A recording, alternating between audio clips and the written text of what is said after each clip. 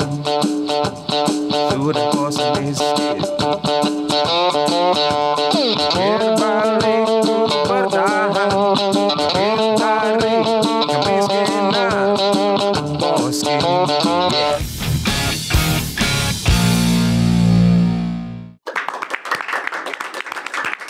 yeah.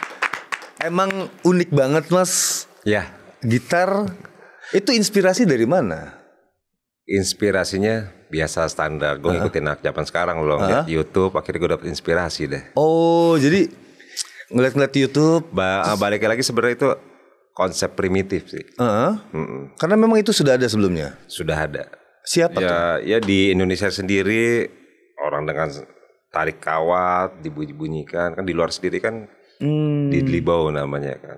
Oh yang itu ya, yang yang menggunakan eh, apa sih namanya skop itu ya? Ya itu juga itu si Justin Johnson. Heeh. Nah karena di di situ akhirnya gue dapet ide Indonesia ini dari dari ujung sampai ujung cangkulnya sama kan. Oh iya lagi. Cangkul dari sono keling, gue sikat, gue tarik senar. Eh enak nih ternyata itu. Jadi kayunya tuh sono keling. sono keling, kayu cangkul kita kan sono keling tuh, kuat kan. Dipakai alat musik juga kan sono Iya keling iya kan. iya. iya. Terus kemudian saat lu memperkenalkan gitar lo itu ke atas panggung gitu, responsnya seperti apa tuh biasanya? Iya orang bingung apaan ini. Apalagi sekarang ya. Iya. Eranya sosial media pasti Iya. wah banyak story tuh ya. Jadi total semua karya-karya lo itu diproduksi menggunakan gitar itu. Campuran sih. Mm. Jadi ada dari gitar cangkul, ada jadi gitar uh, body aluminium, Oh, Ah, ada juga yang bodinya dalam ada dan yang gitar-gitar konvensional normal, gue juga buat bodinya misalkan gue pakai dari talenan istri. Oh, talenan istri Talenan, dibikin jadi gitar. Iya. Jadi memang produk produktivitasnya bukan eh, di karya musik aja ya, tapi untuk bikin alatnya juga ini ya. Iya. heeh. Menyenangkan banget sih, seru seru seru. Seru-seruan aja pokoknya gitu. Mas, Hmm. berarti eh, proyek berikutnya adalah eh, single lagi Single, single, single aja kita. bareng Siapa? tadi ya Asli Hemo. Iya. Terus kemudian Oh sama satu lagi eh, nanti gue tuh akan bikin sebuah band memadukan antara nada pelok sama blues. pelok Jawa. Iya, Oh, pelok. Oh. Jawa dengan nuansa blues. Itu akan tanggal 31 Mei. Iya, iya, Ini iya. band nah lupa gue jadinya.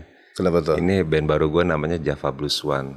Oh, jadi punya eh, membentuk unit Iya, Java Blues One. Blues One. Itu akan rilis kapan rencananya? 31 Mei. 31 Mei. Harusnya sih ini 2024. tayang udah udah ini ya, udah Iya. udah bisa didengarkan di seluruh di- digital platform. Iya. Mas, Hmm. pelok itu kan berarti nada-nada Jawa ya? Iya. Karena di Jawa itu ada nada slendro dan pelok. Mm-mm.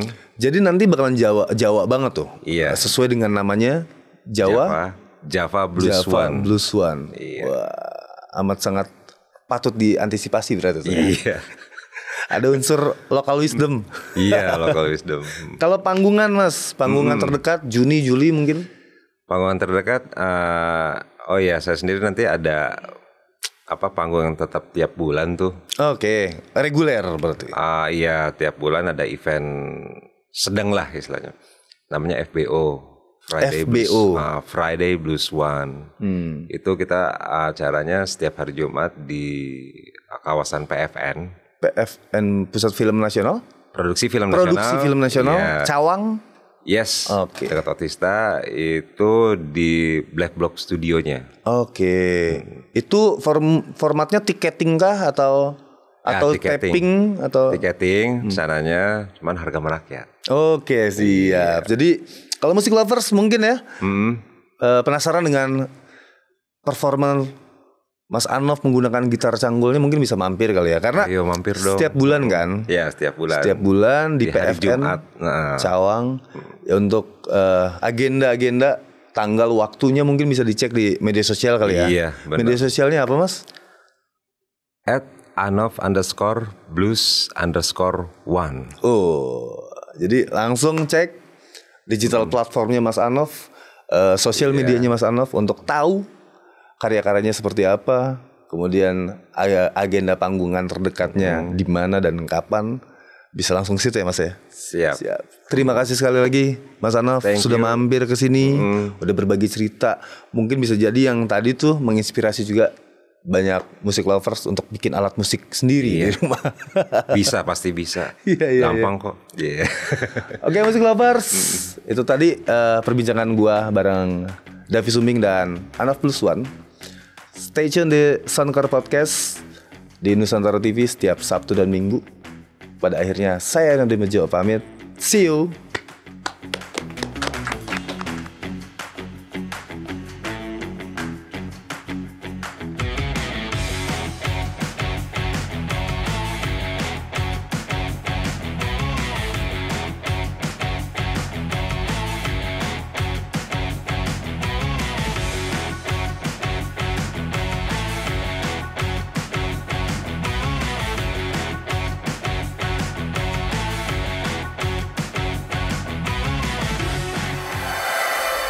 NTV Sahabat Kita